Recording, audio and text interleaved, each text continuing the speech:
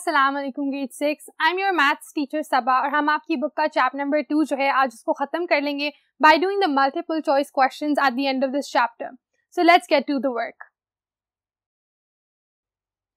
chapter number two एक बहुत ही बेसिक कॉन्सेप्ट बेस्ड चैप्टर था। उसमें हमने बात की है नेचुरल नंबर्स की होल नंबर्स की डिफरेंट प्रॉपर्टीज़ ऑफ़ ऑपरेशंस की। हमें पता है कि नेचुरल नंबर्स जो हैं, वो वन से ऑनवर्ड्स होते हैं। होल नंबर्स में ज़ीरो भी इंक्लूडेड होता है।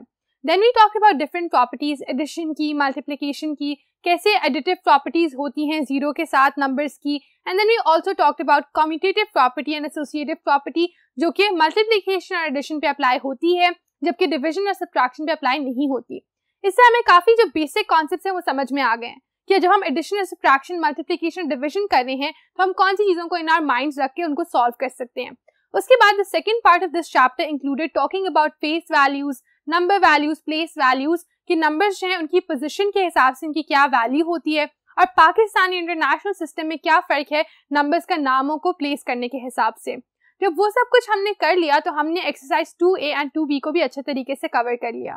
आज हम आखिरी जो इस चैप्टर का हिस्सा है, उसको गो थ्रू करेंगे which is the multiple choice question part जो कि मेरा पर्सनली फेवरेट होता है because in this you get to test your concept on another level तो हम क्या करने वाले हैं? हम करने वाले हैं multiple choice question for chapter two let's go see the first MCQ let's read the first MCQ पहला एमसीक्यू है, the set of natural numbers with zero to it becomes set of whole numbers. तो अगर आप natural numbers के set में zero add करते हैं तो वो होल नंबर्स का सेट बन जाता है। ऑप्शंस हैं ए नॉट ऑलवेज ट्रू कि हमेशा नहीं, लेकिन कभी कभार ये ट्रू होता है। बी है true which means accurate three है फॉल्स कि नहीं, ये दुरुस्त नहीं है एंड फोर्थ है नन ऑफ़ दी अबव अब देखना ये है कि क्या वाकई जो हमारा नेचुरल नंबर्स का सेट होता है, अगर उसमें हम सिर्फ़ ज़ीरो ऐड कर लें तो वो ट्रू हो जाता है या वो एक होल नंबर का सेट बन जाता है? So that is true for me it is completely true क्यों?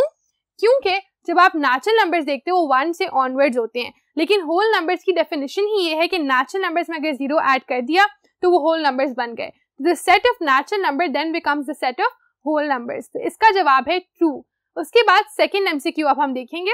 सेकेंड एमसीक्यू क्या है? Position of four in three two four nine zero one is so they've given you a number जिसके अंदर three hundred thousand twenty four thousand nine hundred one है। तो आपने बताना है कि इसमें फोर की पोजिशन क्या है। आपको ऑप्शंस दी हुई है A thousand B tens C units D hundreds ठीक है? तो ये दो, ये सारी ऑप्शंस हैं, ये both for Pakistani system and international system same है। इनको यूज़ करते हुए आपने बताना कि जो फोर है यहाँ पर, उसकी क्या पोजिशन बनती है? तो हमें पता है कि यूनिट्स कहाँ होते हैं हंड्रेड्स टेंस कहाँ पर प्लेस्ड होते हैं। उसी हिसाब से हम देखेंगे कि फोर कहाँ फॉल कर रहे हैं।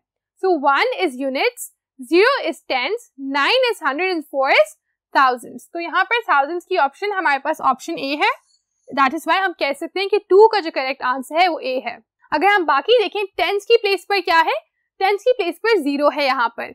एंड देन यूनिट्स की प्लेस पर हमारे पास वन है एंड इवेंचुअली हंड्रेड्स की प्लेस पर हमारे पास नाइन है. So none of these fall on the thousand place और फोर की जो वैल्यू है वो थाउज़ेंड है. तो टू का आंसर जो है वो ए हो गया. आए चल के अब हम हमारा तीसरा एमसीक्यू देखें.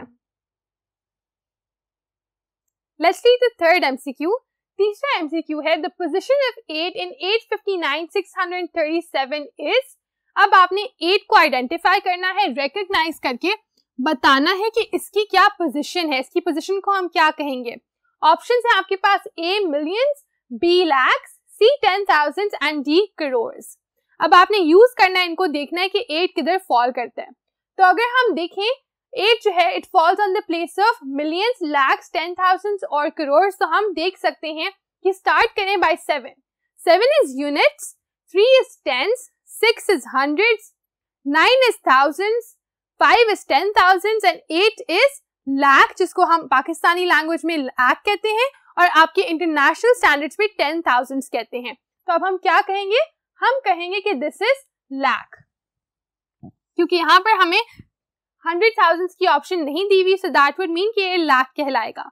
उसके अलावा टेन थाउज़ेंड जो है, वो हमारे पास फाइव की पोजिशन है एंड इवेंचुअली करोड़ जो है, वो यहाँ पर हमारे पास नहीं है because they bigger than the rest of them तो यहाँ पर हमने इस क्वेश्चन को इस तरह सॉल्व कर लिया। हमारे पास करेक्ट ऑप्शन आ गई लैक्स की which is option be looking at the fourth MCQ five billion is greater than five arabs अब वो क्या कह रहे हैं? वो कह रहे हैं कि पाँच बिलियन जो होते हैं, पाँच अरब से बड़े होते हैं। क्या ये स्टेटमेंट फॉल्स है? क्या ये ट्रू है? क्या फाइव बिलियन बल्कि छोटे होते हैं फाइव अरब से? एंड देन बिलियन जो है वो करोड़ के इक्वल होता है। तो अब आपने अंडरस्टैंड करना है आप 27 पेज पे जो आपके पास टेबल दिया हुआ है, उसको यूटिलाइज करें। और देखिए कि बिलियंस और एब्स में क्या डिफरेंस होता है। तो अगर आप देखें देर एक्चुअली द सेम उनमें कोई भी फ़र्क नहीं होता, उनकी वैल्यू जो है बिल्कुल सेम होती है। तो इस वजह से ये फॉल्स तो हो गया कि आपका जो ये वाला स्टेटमेंट है ट्रू नहीं है। बिलियंस जो है वो अरब से बड़े नहीं होते तो इस वजह से हम कहेंगे कि फॉल्स इज़ करेक्ट ट्रू तो ये हो ही नहीं सकती। Why because they are the same जब उनकी वैल्यू ही सेम है, उनकी प्लेसमेंट ही सेम है तो कोई भी दूसरे से ट्रू बड़ा किस तरह हो सकता है? And then five billion less than obviously वो लेस देन भी नहीं हो सकते क्योंकि वो दोनों इक्वल हैं। And billion is equal to crore that's wrong billion is not equal to crore billion is equal to arab तो इसको आप इस तरह से प्लेस करेंगे and your answer will be option A कि ये फॉल्स है। Why because billions are equal to arabs next part है। Sum of two three digit numbers is always a three digit number कि जब आप कोई भी तीन डिजिट वाले नंबर जैसे 124 प्लस 645 948 प्लस 321 जिसमें भी तीन डिजिट्स आते हैं, अगर आप कोई से ऐसे दो नंबर्स को ऐड करते हो, जवाब में हमेशा आपके पास थ्री डिजिट्स ही आते हैं। क्या ये ट्रू है, क्या ये फॉल्स है, क्या ये नॉट ऑलवेज ट्रू है?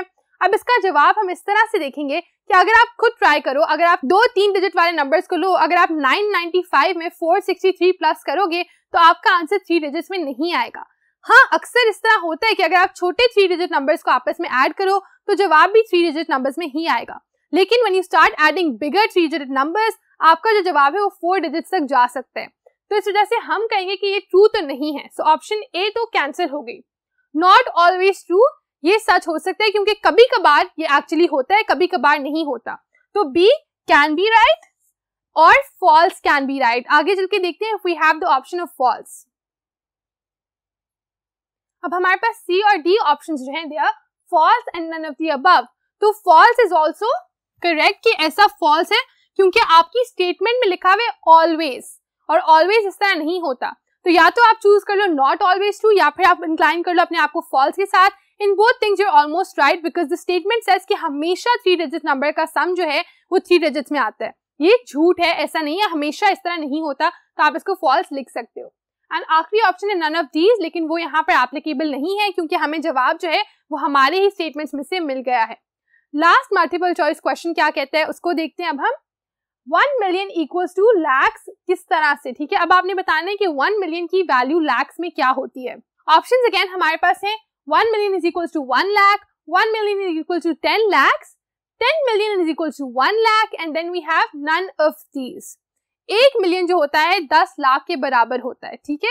ये अगर आप अपने टेबल को यूज़ करें, उसमें भी आप देख सकते हो if you want to ask an adult आपको आसानी से पता चल जाएगा कि एक मिलियन की जो वैल्यू है, वो क्या होती है? वो अप्रोक्सीमेटली टेन लैक्स होती है। So we can circle the B part and we can say ten lakhs one lakh नहीं होती वन मिलियन की वैल्यू टेन मिलियन जो है, वो भी नहीं होता एक lakh and then eventually none of these भी हम नहीं यूज़ करेंगे। इसके साथ जो हमारा नेचुरल नंबर्स होल नंबर्स का चैप्टर है that comes to an end हमने इसमें सारी चीज़ें जो है इनको क्लैरिफाई करके उनके कॉन्सेप्ट को अंडरस्टैंड करके इंटरनलाइज करके exercise to A exercise to B and then the MCQ part of the chapter हमने इसको कंप्लीट कर लिया आई होप कि आपको ये चीज़ें अच्छे तरीके से समझ आई होंगी because as we move further to chapter number three and then onwards ये सब चीज़ें उसमें भी यूटिलाइज होंगी Looking forward to seeing you in my next lecture with a new chapter. Take care then, Allah Hafiz.